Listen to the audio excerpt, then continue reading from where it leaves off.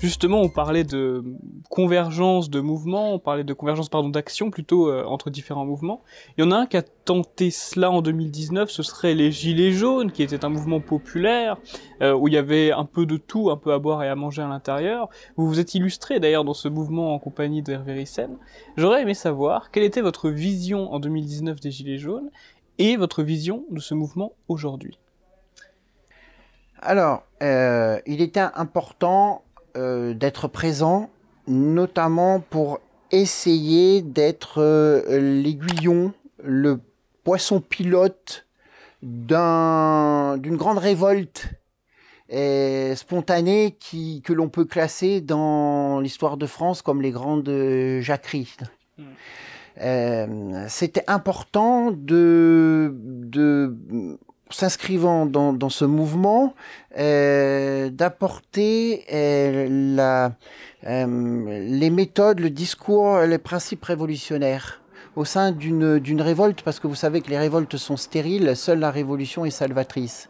Mais la révolution, c'est un processus politique compliqué, qui ne se décrète pas d'un coup de baguette magique et qui est la rencontre d'un processus révolutionnaire, et nous sommes rentrés dans un processus révolutionnaire, notamment avec ces Gilets jaunes, et euh, d'une minorité révolutionnaire.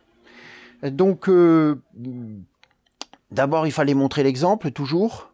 Donc, être en première ligne, c'est indispensable. J'avais décidé aussi d'aller au contact des forces de l'ordre pour les interpeller, parce qu'il faut essayer de conscientiser la petite minorité, la petite, euh, le petit nombre des membres de forces de l'ordre qui ne sont pas dupes. Hein, puisqu'on a bon, euh, euh, la grande majorité de la police, de la gendarmerie qui est au service des institutions, qui est au service de leur république, avec des chefs, notamment les officiers, qui mènent des carrières, euh, quand vous savez que mm, dans les promotions annuelles de Saint-Cyr, les premiers choisissent la gendarmerie parce que c'est là où l'on fait une plus belle carrière, c'est là où on peut gagner le plus d'argent, notamment si on va en OPEX à, hors métropole, le salaire est multiplié par trois. Mais donc il ne faut pas se leurrer. D'autant plus que les généraux, par exemple, sont nommés euh, en Conseil des ministres. Donc c'est les accointances, maçonnes, les réseaux euh, qui jouent. Donc il ne faut se faire aucune illusion, mais à la base, même chez certains sous-officiers qui sont confrontés aux réalités, qui ont peut-être euh, intégré euh, les forces de l'ordre parce qu'ils avaient pensé servir un peu la patrie, il existe encore des éléments épars qui, qui sont intéressants. Pour ça que dans les écoles de police, il y a des, des, des, FAF aussi qui sont dans les écoles de police. Et moi, je, je ne décourage pas ceux qui veulent aller dans l'armée, dans la police. Je dis, allez-y, il vaut mieux qu'il y ait euh, des nationalistes dans la police euh, que euh, des syndicalistes euh, de gauche ou des fronts bas qui sont rentrés pour taper sur tout ce qui bouge hein, et crever des yeux. Donc, donc pendant les Gilets jaunes, j'étais allé au contact, non pas des policiers mais des gendarmes, pour leur dire, leur passer un message. Et j'étais bien accueilli, j'étais très bien accueilli, avec des, signes de, de, d'accord avec mon discours. Regardez les vidéos, nombreuses vidéos sur internet où le gendarme euh, met sa matraque dans son bouclier pour, pour dire je suis d'accord. J'avais même un, sous-officier qui était derrière qui faisait comme ça, qui hochait de la tête. Je me demandais de me laisser passer. Enfin, voilà. Euh, les gilets jaunes, c'est intéressant parce que c'est la France qui ne veut pas mourir. C'est la France de nos régions. C'est la France du terroir, c'est la France du travail, c'est ceux qui euh, euh, se sont dressés parce que, alors les raisons, elles sont au début euh, très pragmatiques, mais inconsciemment, c'était un, un, mouvement en racine profonde de, ce que nous sommes en tant que Français. Mmh. vous preniez les, les, gilets jaunes de manière isolée, euh, je fais pas de politique, je, euh, je, veux, euh, c'est une colère qui, qui, qui, s'exprime, mais mm, ensemble, il y avait une espèce de catalyseur qui, euh, qui a fait de ce mouvement la France de, de, de des non-reniers, je dirais. Bon. mais ça montre la limite des révoltes. Et on a connu la même chose avec la manif pour tous, qui était une révolte de défense de la famille, là où les Gilets jaunes sont une révolte de défense du travail. Ce qu'il nous faut, c'est la révolution salvatrice du rétablissement de la patrie. Après la famille, après le travail, il nous faut la patrie. Et pour cela, il faut constituer une, minorité révolutionnaire. Une minorité révolutionnaire, elle, ne s'adresse pas aux troupeaux des bêtes à voter, aux troupeaux des bêtes euh, à, vacciner. La minorité révolutionnaire, c'est le berger qui conduit le troupeau. Euh, vous pouvez avoir un troupeau de 800 têtes de, de moutons, même plus de 1000 moutons. Il faut un berger pour guider le troupeau aider d'un ou plusieurs chiens, mais il faut un berger. C'est ces bergers qu'il faut, euh, qu'il faut trouver, c'est ces bergers qu'il faut euh, réunir, c'est ces bergers qu'il faut former et à qui il faut donner une conscience révolutionnaire. Seule la révolution est salvatrice.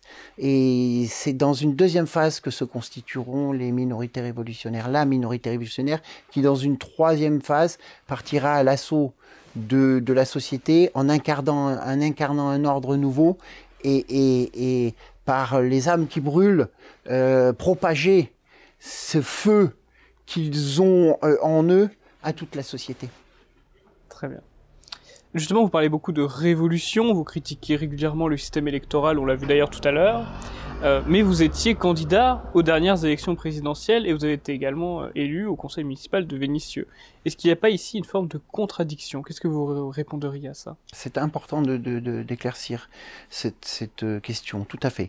Alors ce que nous dénonçons, par les principes, c'est l'électoralisme. C'est-à-dire un système qui fonctionne sur l'élection, sur la loi du nombre. Aucune institution ne s'est constituée dans l'histoire euh, sur le principe des lois du nombre. Et regardez si on pratiquait euh, la loi du nombre dans la famille. Parce qu'il y a quatre enfants, ce serait aux enfants de décider euh, et de dire ce qu'il faut faire parce qu'il y a deux parents? Ou à l'école, parce qu'il y a 30 élèves, expliquer au professeur ou de choisir même son professeur à travers une élection. Ou à l'armée, 200 soldats qui choisissent celui qui va les mener au feu. Euh, et par extrapolation, j'ai une formation en mathématiques. J'aime bien les raisonnements par l'absurde. En politique, vous savez, les raisonnements par l'absurde, vous partez d'un postulat et vous déroulez un raisonnement logique et vous arrivez à une absurdité, ce qui fait que le postulat de base était faux.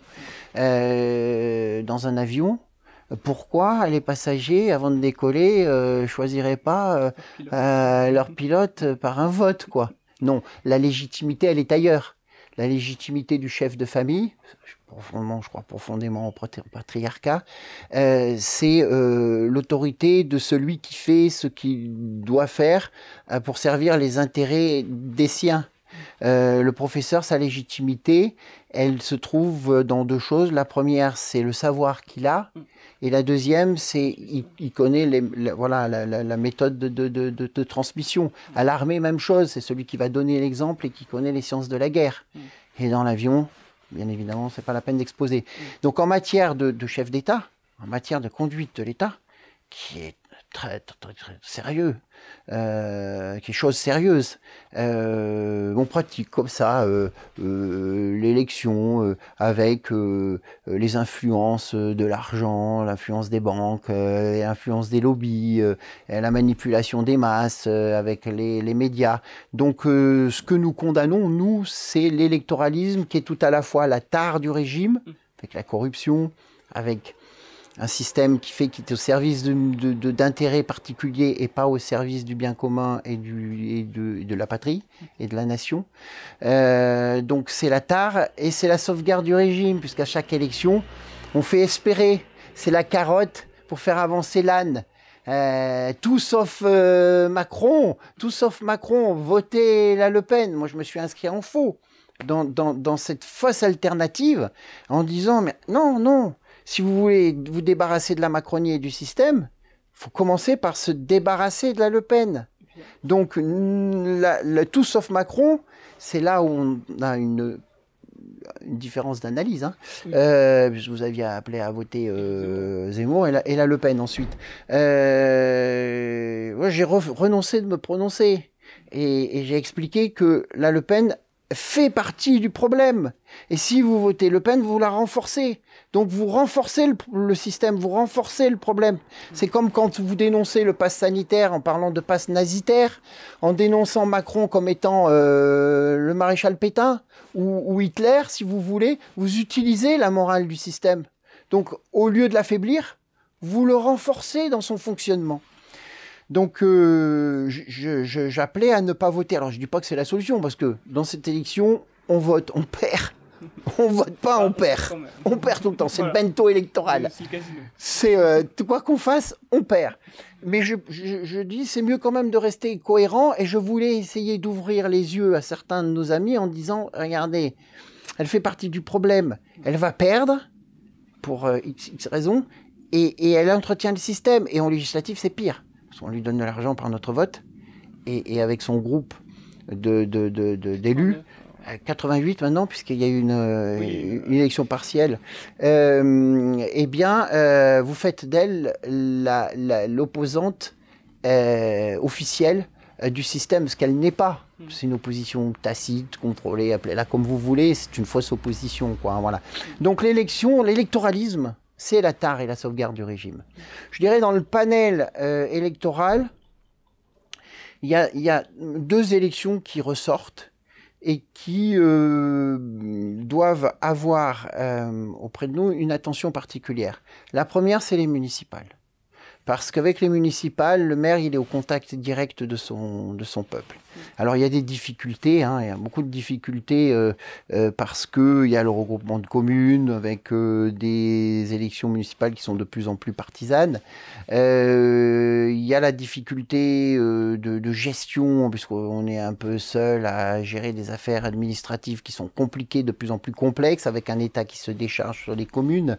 Mais il y a possibilité d'agir concrètement euh, surtout si on, a une conscience politique, euh, dans un mandat euh, municipal, d'autant plus que ce sont souvent des petites communes et qu'on peut se faire élire sur une liste communale, une liste d'intérêt local.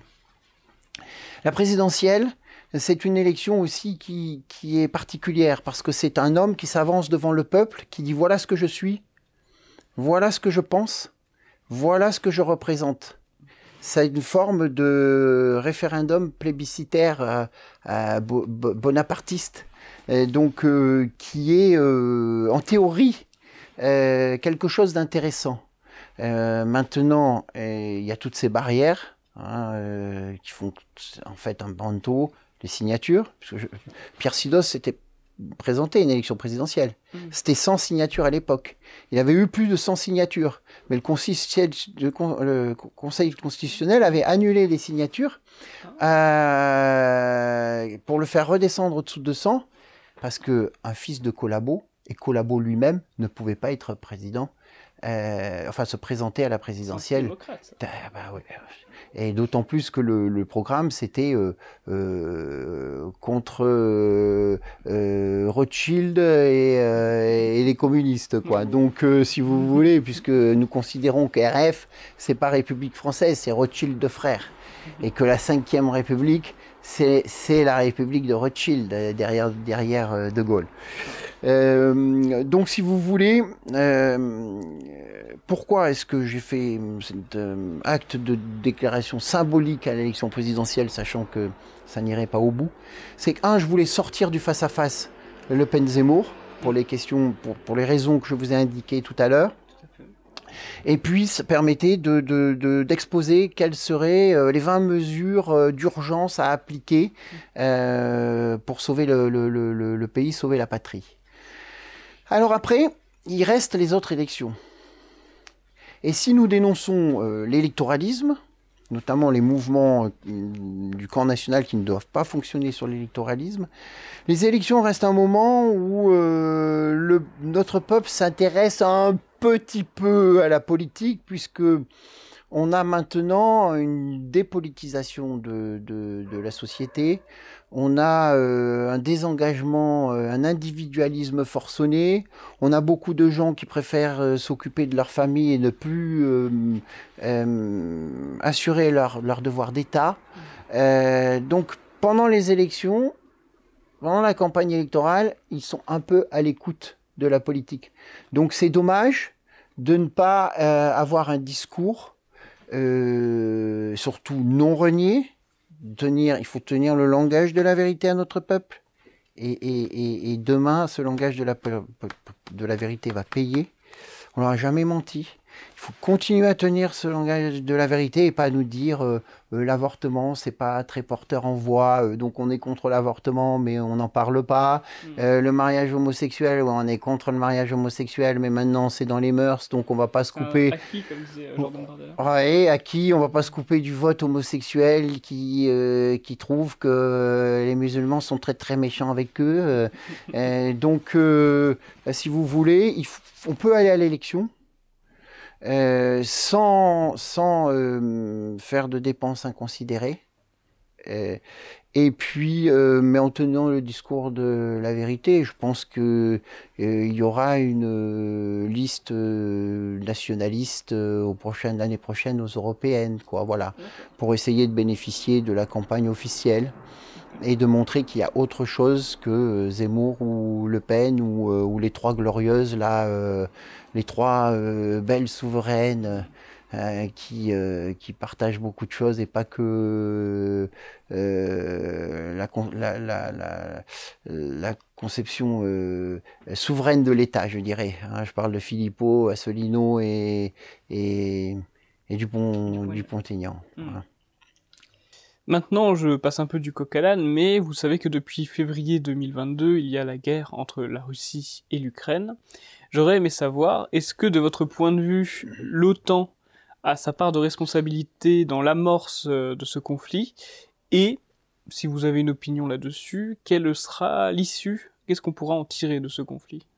Alors, c'est un conflit local euh, parce que euh, l'OTAN a utilisé une situation compliquée pour euh, euh, avancer euh, ces pions à travers au début une guerre asymétrique et maintenant une guerre tout court.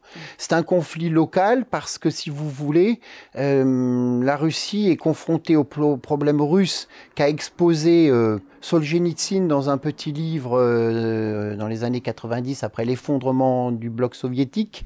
Le problème russe étant que 28 millions de Russes se sont retrouvés du jour au lendemain étrangers sans avoir euh, bougé euh, de place et que donc un gouvernement russe qui sert des intérêts russes doit prendre en compte et défendre les intérêts des Russes et russophones dans ces pays qui avant faisaient partie du parc de Varsovie, étaient sous domination, sur tyrannie euh, soviétique, et qui ont aujourd'hui retrouvé leur indépendance. Donc au départ, ces conflits, que ce soit en Géorgie, au Kazakhstan, euh, euh, en Ukraine, sont des conflits locaux.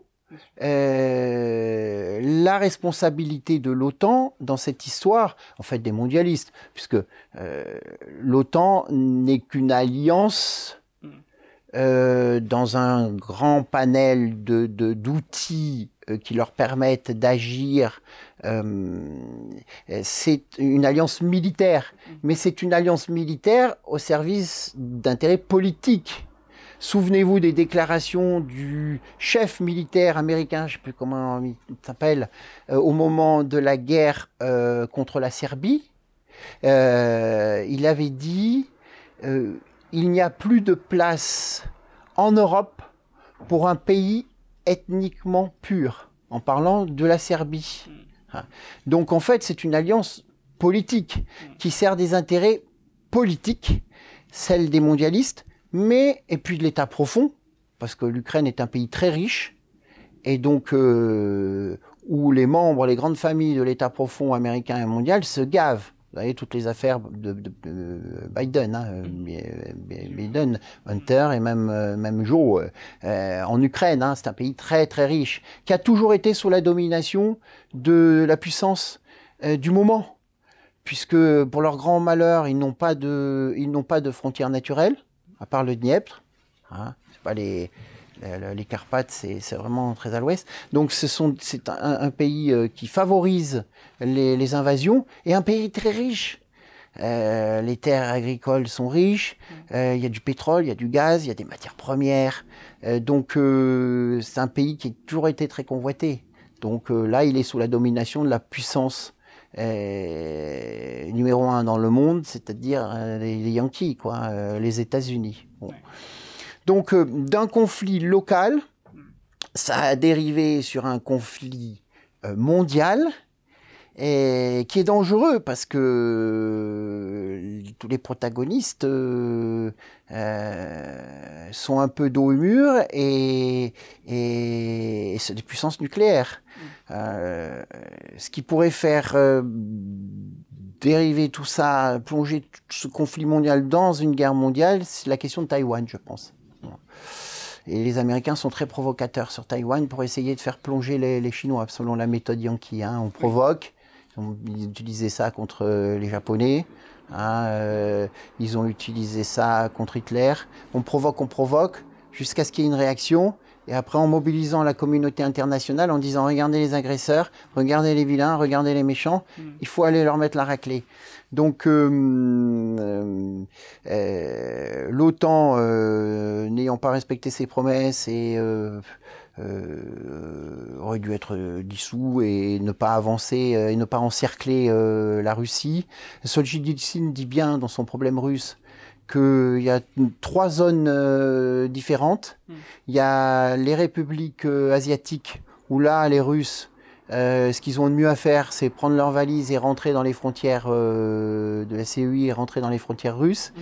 Il dit les pays baltes, il faut demander au nom du droit international des minorités, la protection des Russes dans les pays baltes, et il parle pour la Biélorussie, l'Ukraine et le Kazakhstan, tout le nord du Kazakhstan est russe, hein, il parle de frontières transparentes.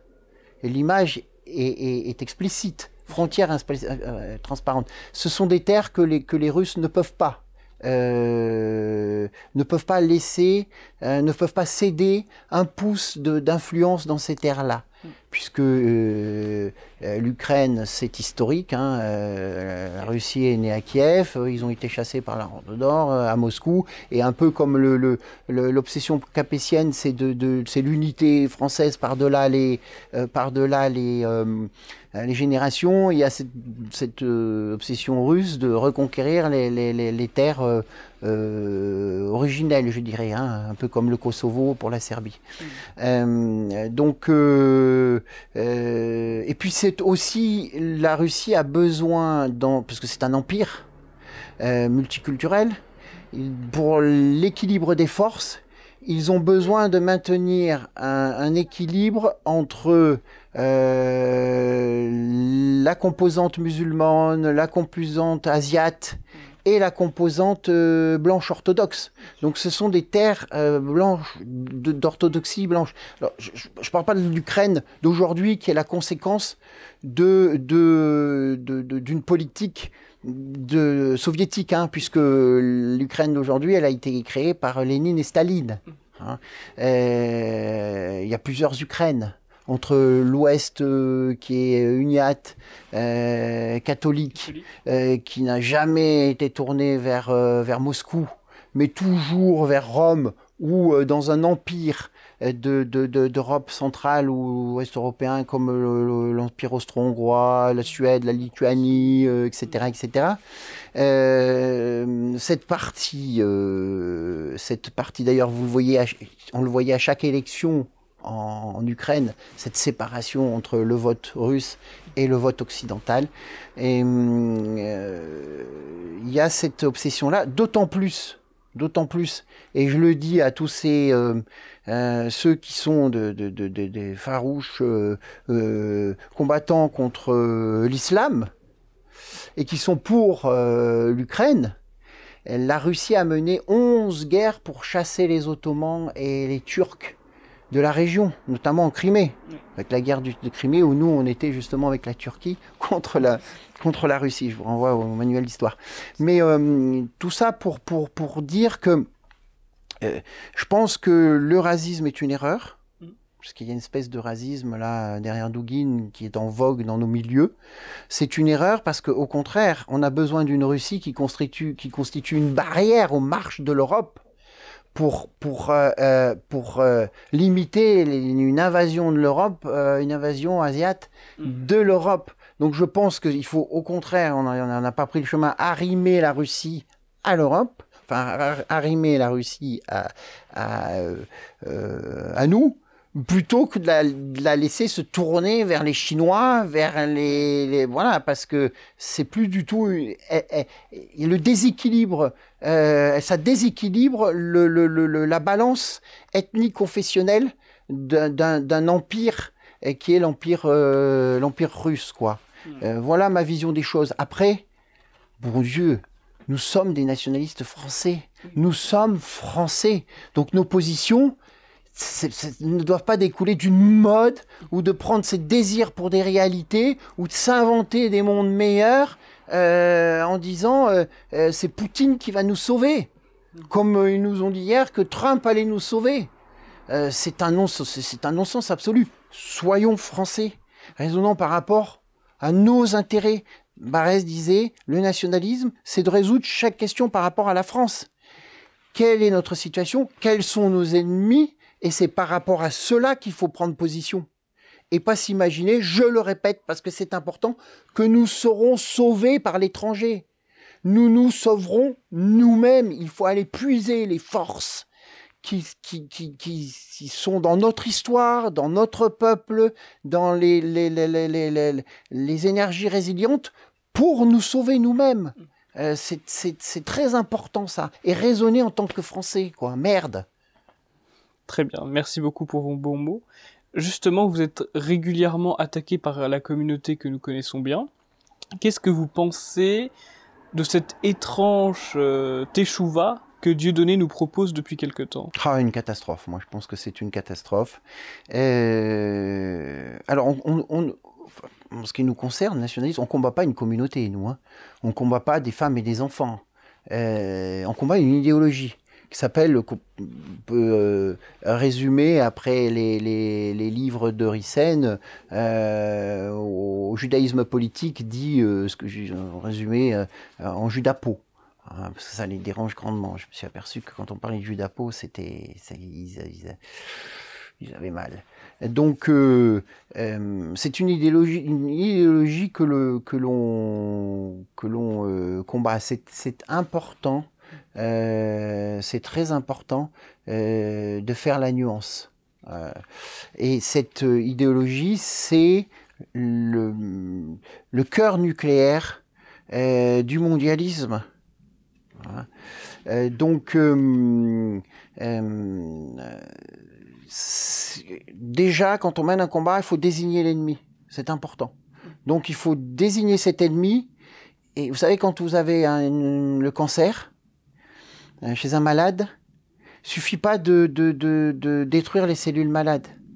Il faut aller repérer la tumeur et s'attaquer à la tumeur. Parce que si vous ne vous attaquez pas à la tumeur, elle va dispenser son poison euh, au quotidien. Et en politique, c'est pareil, on est les médecins de la nation. Hein à partir de, symptômes, on dresse un diagnostic, et quand on a dressé des diagnostics, on donne le remède. Donc euh, il en va de même en politique. Les symptômes, on est tous d'accord sur les symptômes, il suffit d'ouvrir les yeux. Hein. Par contre, euh, le diagnostic, c'est là où on diffère dans le camp national, avec cette grande fracture de ceux qui euh, passent sous le, sous le, le, magistère de l'extrême droite israélienne hmm. et ceux qui disent euh, non, la tumeur, c'est le judapo, qui est une idéologie, j'insiste. Hein, j'insiste. Euh, c'est une nuance d'importance. Nuance d'importance. Donc c'est très très important de, de dénoncer l'ennemi parce que ce que nous avons à mener comme combat, euh, c'est pas contre les conséquences, mais contre la cause. C'est le travail des nationalistes, c'est la spécificité des nationalistes. Hein. Quand il y a des, des, des métastases qui s'expriment, on va chercher la cause, la tumeur. De la même façon, il faut aller chercher la cause du mal. Et la cause du mal, c'est l'oligarchie mondialiste. C'est l'oligarchie mondialiste. L'islam, le, le, par exemple, c'est la conséquence de l'immigration. Mm. Et l'immigration, c'est quoi? C'est une politique voulue, entretenue, financée, protégée par l'oligarchie. Mm. Et que si on veut euh, résoudre ce grave danger, faire face du grave danger de, de, de, de l'islam qui s'impose partout chez nous, il faut résoudre le problème de l'immigration. Et pour résoudre le problème de l'immigration, c'est pas euh, les soupes aux cochons, c'est pas, euh, c'est la conquête de l'État par la Révolution nationale pour pouvoir inverser le flux migratoire et mener une politique de remigration, politique ferme, juste de remigration pour assécher le, le, le, le euh, ce terreau migratoire qui nourrit toutes les, les, métastases que l'on a aujourd'hui, que ce soit l'implantation d'un islam politique, euh, c'est un peu un pléonasme, mais de, de, l'islam chez nous, de l'action de ces fous furieux qui poignardent nos enfants euh, ou qui violent nos grands-mères, ou qui, euh, voilà, avant l'immigration, c'est un crime, c'est un crime sanitaire. On a le retour de, de, de, de maladies qui n'existaient plus. C'est un crime économique, ça nous coûte une fortune. C'est un crime identitaire, ça détruit ce que nous sommes. C'est un crime, enfin, l'immigration, c'est une catastrophe, quoi. C'est une catastrophe. Donc, euh, ça ne va pas se résoudre d'un coup de baguette magique en s'attaquant à l'islam. C'est la conquête de l'État, lutter contre l'oligarchie mondialiste sous magistère du Judapo pour euh, mener une politique ferme et juste de rétablissement de la France, notamment en matière migratoire. Très bien. Très bien, Yvan. Je vais vous poser une dernière question en espérant euh, que la réponse serait pleine d'enthousiasme et de, et de positivité. Est-ce que la France et les Français aujourd'hui en 2023 ont les ressources nécessaires pour ne pas disparaître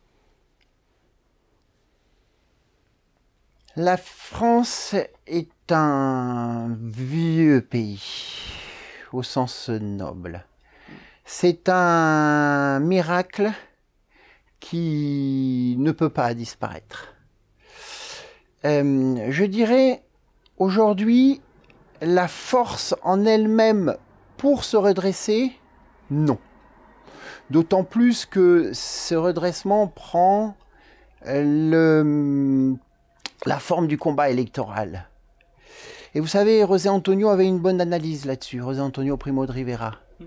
Il disait si le peuple avait encore assez de force pour réagir par le nombre, il euh, ne se serait pas mis dans une situation où il a besoin de réagir. Il ne serait pas tombé aussi bas. Et je souscris à cette, euh, cette analyse.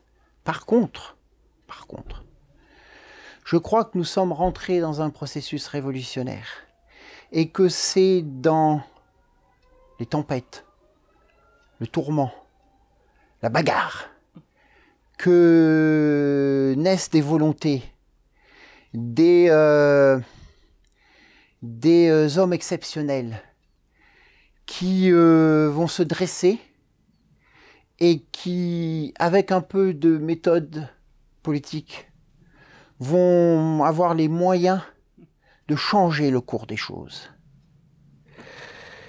Je pense que si l'on s'en tient à la situation générale, on ne peut être que pessimiste. Je discutais avec un ami hier soir qui me dit, moi, dès que je me lève, je vais euh, consulter euh, F de souche. je lui dis, bah, t'as la santé. Moi, je peux pas. Euh, je, je, je, ne peux pas. La situation, on la connaît, il suffit d'ouvrir les yeux. On est dans la société, on vit, on, on, sait ce qui s'y passe. Pas la peine de pointer chaque euh, euh, événement mm, tragique glauque. Euh, non, ça, ça nourrit, ça nourrit, ça nourrit le défaitisme, ça nourrit ceux qui, le discours de ceux qui nous disent courage, fuyons, il faut pas rester en France et euh, il faut euh, euh, devenir un, un immigré nous-mêmes pour pour immigrer sous des sous des latitudes plus favorables, notamment dans l'est. ce qui veut dire luttons contre le grand remplacement en s'auto-remplaçant soi-même, quoi. Ça n'a pas de sens. Alors, le, le, le, le, individuellement, je peux concevoir. Hein. Euh, qu'on s'installe euh, de manière temporaire euh, dans un pays étranger, mais ce n'est pas une solution politique. Il faut rester chez nous, il faut s'engager, il faut mener le combat, il ne faut pas rester tout seul, il faut se mettre à l'abri si jamais on est dans des quartiers difficiles, dangereux. Mm. il faut se regrouper, ne pas rester seul. Donc, le travail que nous avons, à mener dans cette, période difficile où on n'a pas les moyens d'agir concrètement sur les événements, mais on est obligé, l'urgence est d'attendre, l'urgence est de faire preuve de patience, euh, parce que c'est urgent vu la situation générale, mais euh, comme on n'a pas les moyens, euh, le système se délite, donc il faut attendre qu'il perde pied mm. pour nous permettre d'agir. Et en attendant, il faut constituer, renforcer ce que j'appelle les corps intermédiaires de la Révolution nationale. Puisque, si vous voulez, nous voulons une société organique basée sur les corps intermédiaires avec le, principe de subsidiarité. Hein. Chaque corps intermédiaire supérieur fait ce que le corps intermédiaire inférieur ne fait pas. Et ainsi, on arrive à une société qui fonctionne naturellement selon les lois naturelles. Euh, sans avoir besoin d'une constitution ou d'un mode d'emploi, comme un corps, à travers ses organes, et fonctionne sans qu'on ait besoin d'un mode d'emploi, si vous voulez. Donc ces corps intermédiaires dans la Révolution nationale, qui sont des communautés humaines qui se fixent ses propres lois en accord avec nos principes, hein, que ce soit des, euh, des mouvements, euh, des associations sportives, des communautés participatives, des réseaux économiques, des, euh, euh, des, paroisses, des écoles hors contrat, et ainsi de suite. Il y a des, des journaux, des, des, chaînes, des médias alternatifs. Tout ça, c'est ce que j'appelle les corps intermédiaires de la Révolution nationale parce qu'elle ne naîtra pas d'un coup de rien, d'un coup de baguette magique. C'est cela qu'il faut renforcer c'est cela qu'il faut créer, euh, d'autant plus que ça nourrit notre espérance. C'est dans le combat que on se renforce. C'est par euh, les amitiés que l'on noue, c'est par les entraides, c'est par le fait que euh, au soir d'une journée, on est sorti victorieux de ce combat terrible que nous met le système qui veut nous aliéner parce que souvent on se retrouve dans des sables mouvants, plus on a l'impression, plus on s'agite, plus on s'enfonce.